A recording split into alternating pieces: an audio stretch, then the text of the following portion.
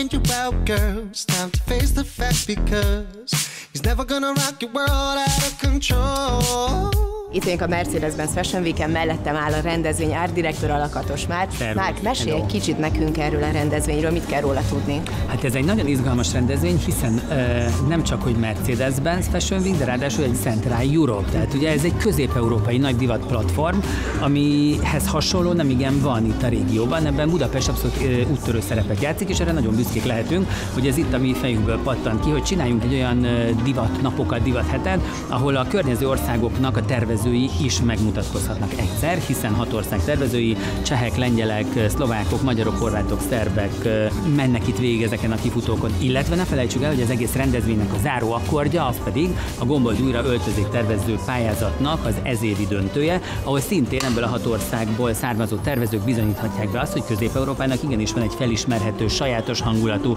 sajátos ízű divatja, és ugye hát ennek a koordinálását kell nekünk itt megoldani, ami azért tűnik egy nagy feladatnak, hiszen hatban sót kell lenyomni ez alatt a két nap alatt. Ebben vannak önálló sok, vannak olyan sok, ahol blogban több tervező mutat be egyszer, fiatal tehetségek vagy a közép-európai tervezők közül a fiatalabbak egy blogban, úgyhogy ez meglehetősen komplikált backstage munkát igényel, ahogy ezt láthattad már bent is.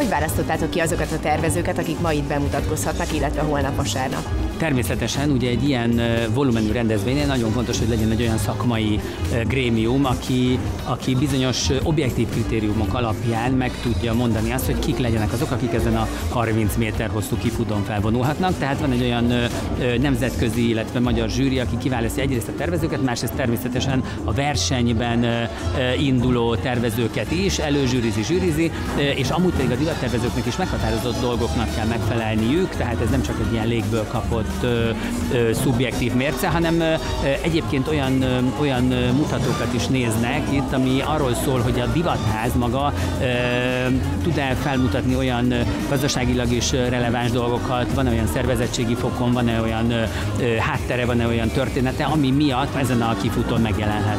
Hozzávetőlegesen hány ember dolgozik egy ilyen són? Először is azzal kezdeném, hogy van 80 önkéntesünk, ami egy fantasztikus dolog, mert azt jelenti, hogy egyre több fiatal érdeklődik a divat iránt, és szeretne akár gyakornokként vagy önkéntesként részt venni ezen a szuper kis fórumon. Ezen kívül van ugye majdnem 50 modellünk, ennek a fele mennyiségű öltöztetőnk, egy csomó backstage ember, egy csomó technikai ember, tehát ez ilyen két-háromszáz fős stábra rúg, úgyhogy érezheted, mint egy nagy fő műsoridős tévéshow, gyakorlatilag ehhez hasonlíthatnánk.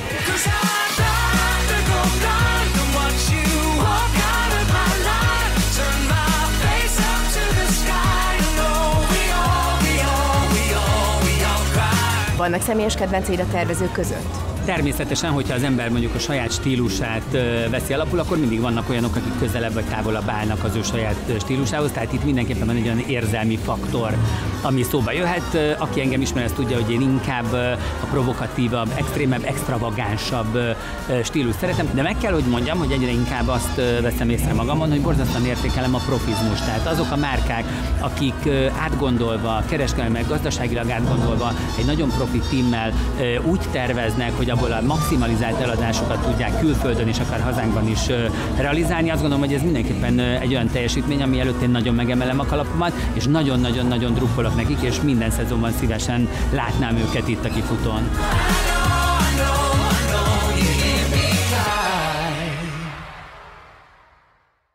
Rovatunkat támogatta a Hungária Pesgő.